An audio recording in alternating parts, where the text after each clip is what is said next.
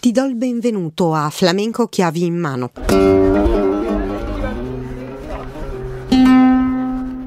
Oggi parliamo di che cosa sono i palos del flamenco. Tutte le persone che affrontano lo studio del flamenco si trovano sempre di fronte a questo termine, palos. Che cosa sono i palos? Allora, genericamente possiamo tradurre questo termine con stili, Stili di che cosa? Stili centralmente del cante. Il flamenco è molto complesso e ha un repertorio grandissimo, direi assolutamente gigantesco. Per riuscire a capire qualcosa in questo oceano di musica e di emozioni, che è il flamenco, ci aiuta moltissimo l'idea di avere una classificazione e quindi di suddividere i vari generi musicali, appunto i vari stili, in diverse famiglie, in diversi sottogeneri, in modo da capirci un po' di più, in modo da riconoscere somiglianze, differenze e avere un'immagine più chiara di quello che le nostre orecchie e probabilmente assolutamente il nostro cuore stanno ascoltando. Il termine palo non si sa precisamente per quale ragione sia stato scelto questo termine palo per descrivere il genere musicale nel flamenco. Alcuni ovviamente dicono che probabilmente anticamente c'era qualcuno che aveva in mano un bastone, appunto un palo e che batteva il ritmo. Probabilmente un po' sciocca come interpretazione, visto che moltissimi palos sono assolutamente privi di ritmo, anzi quelli più profondi, quelli più antichi, sono assolutamente privi di ritmo. Insomma, come molte cose del flamenco, non si sa esattamente da dove venga questo termine però forse non ci interessa nemmeno tantissimo saperlo. Quello che ci interessa è proprio capire il concetto. È molto strano perché in altri generi musicali non c'è una esigenza così incredibile come c'è nel flamenco, così forte come c'è nel flamenco, di suddividere i generi musicali. C'è come l'esigenza di capire, l'esigenza di sapere, di catalogare appunto. I vari generi del flamenco si distinguono tra di loro tantissimo per emozionalità, alcuni sono proprio come il giorno e la notte dal punto di vista emozionale, altri invece esplorano delle emozioni molto simili tra di loro e quindi si può fare un po' fatica magari a riconoscerli. Vediamo intanto quali sono le caratteristiche principali che distinguono i vari palos, le varie famiglie. Ti ho già lungamente parlato delle scale musicali utilizzate nel flamenco e abbiamo visto che le famiglie musicali sono tre, la scala maggiore, la scala minore e la modalità flamenca. Poi c'è assolutamente da catalogare la struttura ritmica, per cui che sia in un ritmo ternario, che sia in un ritmo di amalgama, un ritmo composto di tre e di due tempi, che alla fine genera una frase ritmica di 12 tempi. Ci sono altre frasi ritmiche che hanno delle logiche ancora diverse, ma vedremo tutto questo con più precisione in un altro podcast. Adesso voglio solamente dire che i vari palos si distinguono per la loro struttura ritmica, oltre che per la loro struttura musicale. Un altro elemento che distingue i vari palos è la velocità. La velocità crea un cambio proprio nell'atmosfera della musica molto forte, la stessa melodia suonata più velocemente o più lentamente cambia proprio del tutto. Quando la melodia è più lenta, diventa immediatamente più malinconica, più introspettiva, più romantica, più nostalgica. Mentre quando la velocità sale, anche le note più tristi o più drammatiche sembrano allegre. Il quarto ed ultimo elemento, che forse avrei dovuto dire prima di tutti gli altri perché è il più importante, è la struttura melodica. I vari palos si distinguono al 100% l'uno dall'altro solo con la comparsa del cante e con l'ascolto del cante, cioè gli altri tre elementi, velocità, scala musicale e struttura ritmica, non sono sufficienti al 100% per distinguere un palo dall'altro. Perché dico questa cosa? Perché ovviamente dobbiamo sempre metterci dal punto di vista del flamenco, che è totalmente il punto di vista del cante anche se poi magari a noi piace moltissimo suonare la chitarra o ballare. Dobbiamo sempre ricordare che il flamenco nasce dal cante ed è al cante che dobbiamo fare sempre riferimento. I vari generi musicali, appunto, i vari palos, sono divisi in sottofamiglie in alcuni casi. Tant'è che diversi flamencologi o quantomeno studiosi del flamenco hanno generato questa meravigliosa idea grafica che è quella di un albero Ne hanno disegnate tantissime versioni anche molto belle da un punto di vista pittorico, molto immaginifiche, proprio un albero con tanti rami e sottorami e foglie. E i rami più grossi corrispondono ad alcune famiglie che poi si appunto diramano in palos più specifici che mantengono con gli altri palos dello stesso ramo alcune parentele, alcune somiglianze, oltre che evidentemente delle differenze, altrimenti non si sarebbero identificati palos diversi. Ci sono alcuni palos che sono più importanti, diciamo, di altri. È un po' come se fossero dei poli di attrazione che hanno esercitato un'influenza molto grande in tutti i palos del flamenco o comunque in molti palos. Direi che questi sono i palos che non possiamo evitare di conoscere. Poi in realtà, se ci appassiona il flamenco, prima o poi andremo ad esplorare anche palos meno comuni o palos che nella storia del flamenco sono stati un pochino più marginali. È chiaro che se mi addentro nello studio del flamenco ci sono alcuni appunto palos che sono assolutamente fondamentali da conoscere. La prima cosa che mi viene in mente in termini di tempo sono sicuramente le tonà, da cui nasce tutta la famiglia delle Sigilias. Sono cantes che vengono da tempi molto molto antichi. L'ho detto tante altre volte, ascoltando una tonà, se conosci la cantillazione del Corano, il richiamo alla preghiera arabo, ritrovi immediatamente le radici della tonà. Ma in maniera non c'è bisogno di essere un musicologo per riuscire a sentirlo. Nella famiglia tonà abbiamo tutto ciò che è senza ritmo, o meglio, più che senza ritmo, perché in qualche caso, come nel martinete, il ritmo arriva, più che altro tutto ciò che nasce dalla singola voce senza un accompagnamento. Abbiamo la debla, la carcelera, il martinete, appunto le saetas, che sono super interessanti anche loro, i tutti i vari cantes camperos, canti della semina, i pregones, canti del mercato, le nanas, le ninananne. La tonà ha dato origine a tutta la famiglia delle sigilias, per cui con tutte le varianti possibili, la liviana, la serrana, cabales, alcune romances, le playeras, veramente tantissime cose. Poi c'è la famiglia Soleá, la famiglia da cui vengono altri cantes come la cagna, il polo, la bulleria stessa, la Soleá por bulleria o bulleria por Soleá e tutte le mille varianti che questi palos possono avere poi c'è tutta la famiglia dei tangos, che sono tutti in quattro quarti, tango, tanguiglio, tiento, tutta una serie di varianti, il zapateado, la zambra, la colombiana, la farruca, il garrotin, la mariana, la rumba, la milonga, la vidalita, mamma mia, c'è veramente un mondo dietro lì. Poi c'è tutta la famiglia dei fandangos, i fandangos hanno una varietà impressionante, ne parlerò più approfonditamente in un altro podcast. Sono comunque degli stili regionali, locali di varie zone dell'Andalusia che piano piano sono stati portati dentro il flamenco e rielaborati sempre di più nel flamenco. Per cui abbiamo stili locali come può essere la malaguegna, la granaina, la rondegna che nominano vistosamente dei posti, lo stesso Fandango de Huelva, più chiaro di così in termini di nominare un posto. Poi abbiamo Verdiales, Javera, Javegote e i vari fandangos locali, appunto. I fandangos del Levante, fandangos de Malaga, fandangos de Lucena, fandango de Almería, fandango de Jaén, fandango de Cabra, fandango de Puente Genil. Ne abbiamo tantissimi. Dalla famiglia Fandangos vengono fuori tantissime altre cose che non sono così evidentemente Fandangos.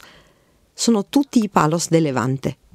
Quindi tutti i palos che hanno questo sapore orientaleggiante e nei quali la chitarra marca tanto sulle corde più gravi, le corde di bordone, quelle più grosse, che portano un suono molto oscuro, molto nero. E abbiamo tutta una famiglia grandissima le Tarantas, i Tarantos, le Cartageneras, la Mursiana, la Minera, la Levantica, la Ferregna, il Fandango Minero.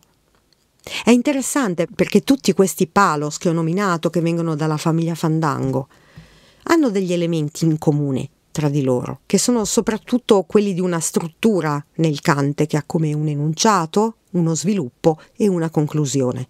Però sono molto eterogenei tra di loro perché alcuni hanno un ritmo, tutti i fandangos a bandolaos, come quelli che ho nominato prima, la rondeglia, la javera, il javerote, il fandango dell'Usena, il fandango del Meria, il fandango del Granada, los verdiales, sono tutti fandangos che hanno una base ritmica comune, molto forte, in un ritmo ternario un po' saltellante, simile a quello del fandango de Huelva, grossolanamente ma diverso, mentre gli altri fandangos che ho nominato non hanno ritmo e vengono anzi cantati in maniera molto libera dal cantaor e suonati in maniera molto libera dal chitarrista quando per esempio vengono utilizzati per fare un solo di chitarra.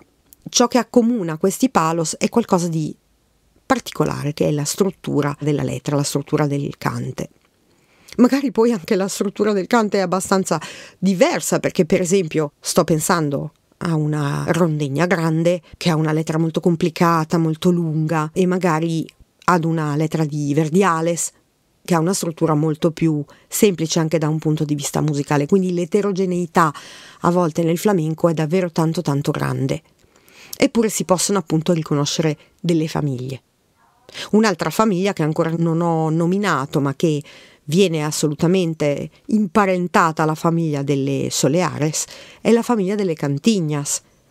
Le Cantignas sono dei palos allegri, ne ho già parlato in altri podcast, una specie di ventaglio di possibili esplorazioni di diversi tipi di emozionalità, sempre piuttosto sereni, solari, allegri, per cui abbiamo, questo lo dice la parola stessa, abbiamo le allegrias, con le due varianti di Cordova e di Cadice, che sono molto diverse tra di loro, poi abbiamo il Mirabras, Caracoles, la Romera, sono ben lontana da averli nominati tutti, eh, assolutamente, ho solo fatto una specie di excursus.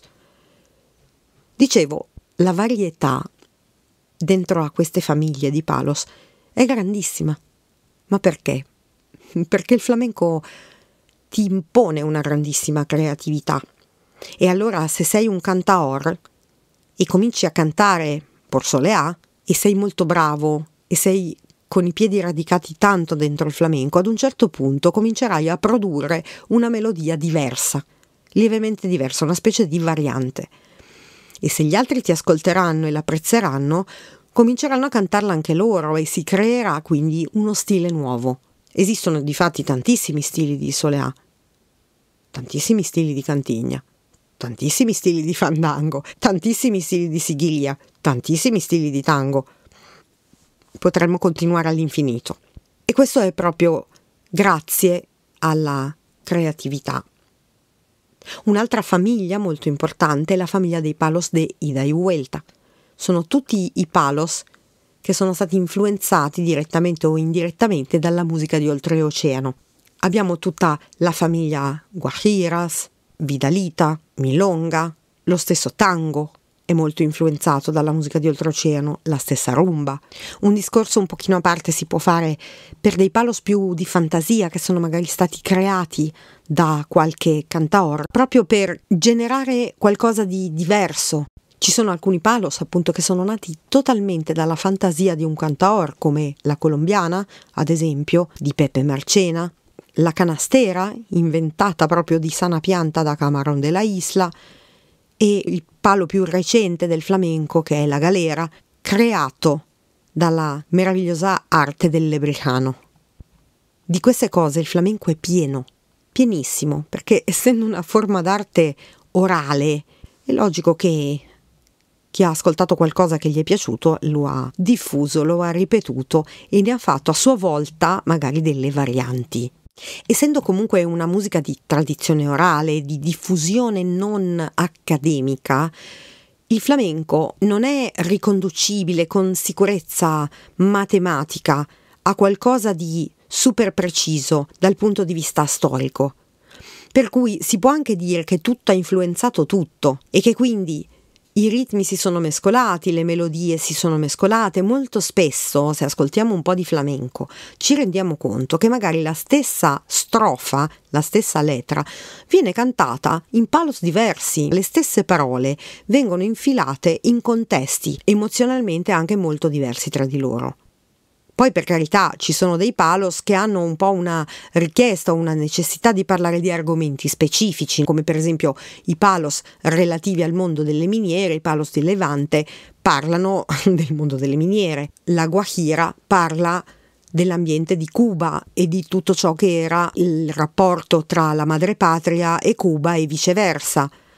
Ci sono anche letras che parlano di argomenti lievemente diversi, a volte proprio influenzati da altre cose o altre situazioni storiche che magari non sono così evidenti o così immediate ad un orecchio non tanto esperto e soprattutto a qualcuno magari che non conosce profondamente quell'argomento specifico. Capire che esistono i palos e che sono diversi tra di loro, che ognuno porta la sua emozionalità, ci aiuta ad esplorare la profondità del flamenco e a capirla come più profondamente. Come sempre, se io do un nome a qualche cosa, questo qualche cosa assume una realtà più consistente e quindi riesco a capire questo qualche cosa in maniera più profonda.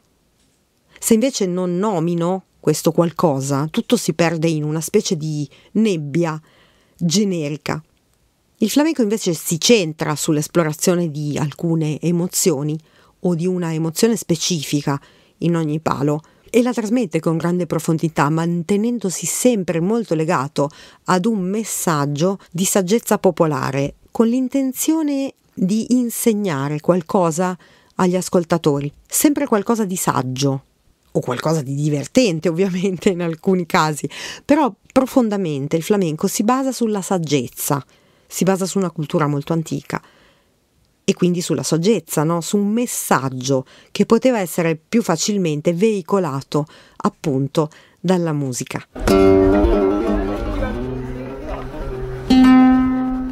Sono Sabina Todaro, mi occupo di flamenco e di danza e musica del mondo arabo da tantissimi anni, dal 1985.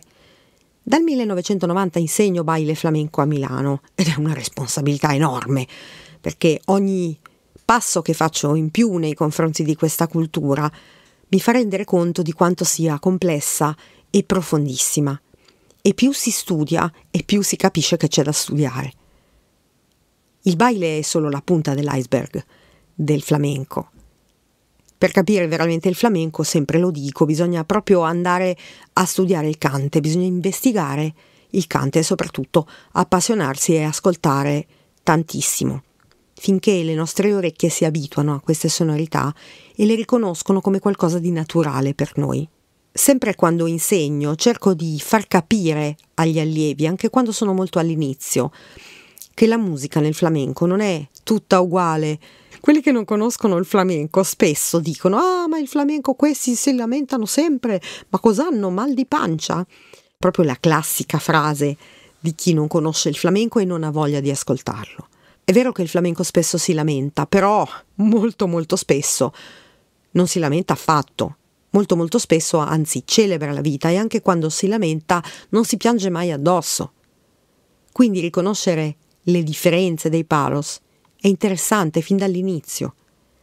Sentire che cosa fanno sul nostro corpo, musiche molto eterogenee tra di loro. Alcune molto ritmiche, altre senza nemmeno una struttura ritmica, alcune in una scala maggiore molto serena, molto allegra e altre magari con delle tonalità oscure come appunto i palos del Levante. Sul nostro corpo tutta questa musica entra in un modo molto particolare, ogni brano entra in un modo diverso e muove delle corde profonde dentro di noi, proprio dentro il nostro corpo, non solo dentro la nostra emozionalità, ma anche nella parte fisica di noi, che è davvero interessante esplorarle fin dall'inizio, anche quando non abbiamo ancora una grandissima esperienza a riguardo. Le persone che si avvicinano al flamenco quando scoprono che esistono i palos, che c'è tutto questo fatto da capire, i generi musicali, le varie possibili famiglie ritmiche, le scale musicali, ti guardano con degli occhi proprio sperduti e increduli ma come pensavo di fare un piccolo corso per divertirmi una volta a settimana e mi trovo immerso in un mondo complessissimo nel quale devo mettere la mia intelligenza e la mia sensibilità e non soltanto muovere un po' il corpo così, in maniera leggera. Bene, secondo me se vuoi studiare baile flamenco, devi per forza passare attraverso la comprensione del cante. Non vedo un'altra possibilità. La comprensione e l'amore nei confronti del cante. Quindi una bella esplorazione di palos, anche molto diversi tra di loro, è fondamentale. Anche imparare ad ascoltare quei palos che magari all'inizio ci sono meno simpatici, ci risultano meno comprensibili. È importante perché tutto genera un piccolo mattone che va a costruire l'edificio del flamenco. E questo secondo me noi che siamo stranieri lo dobbiamo fare con grande rispetto proprio perché non essendo qualcosa che appartiene alla nostra cultura e alla nostra tradizione, è molto importante che capiamo ancora di più come si struttura e quindi partiamo assolutamente all'esplorazione di questo mondo incredibile che sono i palos.